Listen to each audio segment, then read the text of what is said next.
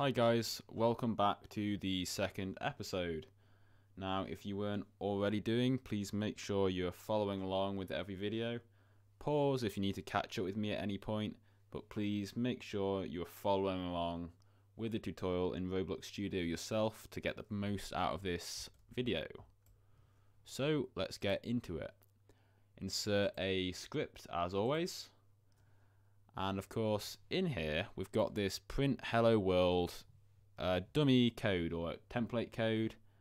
Uh, as we saw in the last video, this is what you always have whenever you create a script. Now, this hello world text is written in uh, quotation, double quotation marks. And this is what we call a string value. Uh, and we can add a comment. This is a comment, by the way, with a double dash and that is a string string value. Now there are other types of values that we can use as well. We can say print just give a number and that's obviously a number value. And of course we run both of them and get hello world 10 just as you'd expect. Now in the previous video we talked about accessing properties of various parts but now I want to talk about how we can store data using something called variables. So I can type out a variable here and I can simply call it my variable and that's the name of the variable and then I say equals and I can say equals hello there thanks for watching and that would be a string value.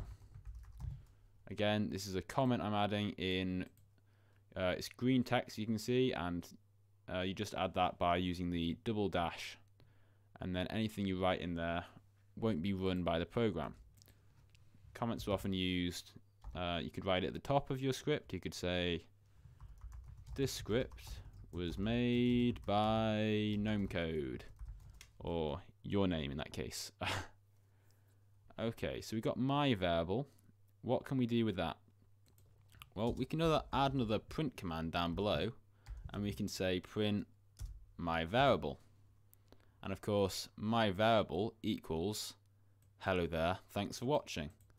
So if we run that, you can see down below in the output it says hello there, thanks for watching.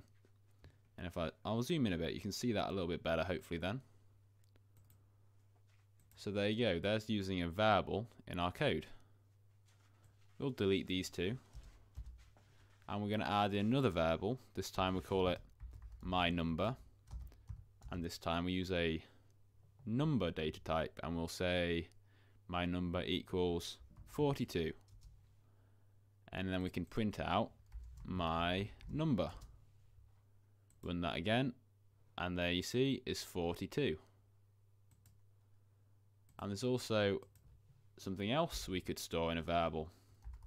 And we'll call this uh, my property. And this time, we'll set this to equal game dot workspace dot baseplate dot transparency so we're going to access the property of baseplate like we did before and go to the transparency and that value equals zero we can then print that out by saving it to this variable here called my property.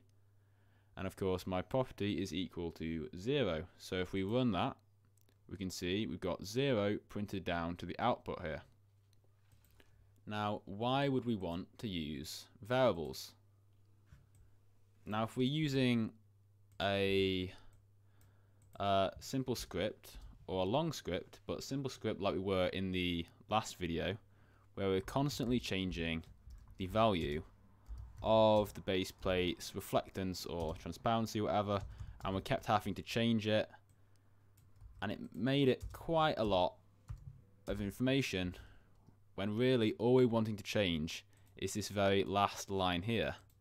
But we had to add in all of this and that was a lot of repetition what if we could simply say base equals game.workspace.baseplate.